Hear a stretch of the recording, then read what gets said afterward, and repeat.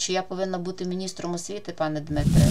Я дуже сумніваюся, щоб свідомість нашого суспільства була аж такого рівня, аби захотіли націоналістку бачити на чолі стратегічно важливі, важливого міністра освіти. Я пригадую, як після Майдану у всілякий і дикий спосіб збивали Фаріон, щоб я часом навіть десь не промовила.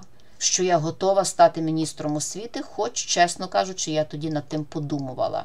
Але можете знайти навіть цей мій етер на 1 плюс 1, де я кажу, що я не йшла в парламент для того, щоб іти у виконавчу владу. Я йшла в парламент для того, щоб писати закони і щоб скасувати мовний закон Ківалова Колісніченка. І я свою обіцянку виконала. Ми скасували цей путінський закон через Конституційний суд. Бо проголосувавши за його скасування, Турчинов його не підписав. І аж треба було чекати 4 роки. і Ми цього домоглися. Це була наша велика перемога. Запрошую вас підписуватися ще на мій додатковий канал, який називається Студія Фаріон.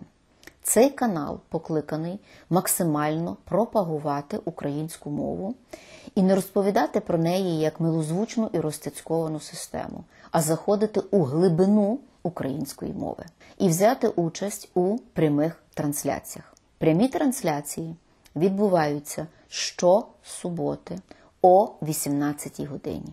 Уявіть собі, що це такі собі суботи, які колись проводив геніальний Михайло Коцюбинський. Звісно, мені до Коцюбинського надзвичайно далеко. Мені ще у нього вчитися і вчитися, як володіти нашим блискучим українським словом.